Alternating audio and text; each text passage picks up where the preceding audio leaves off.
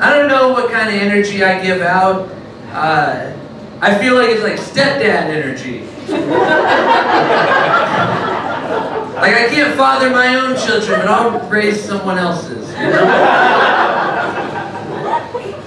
It's a pretty big flex to raise someone else's child. You know, it's, finishing someone else's homework. It's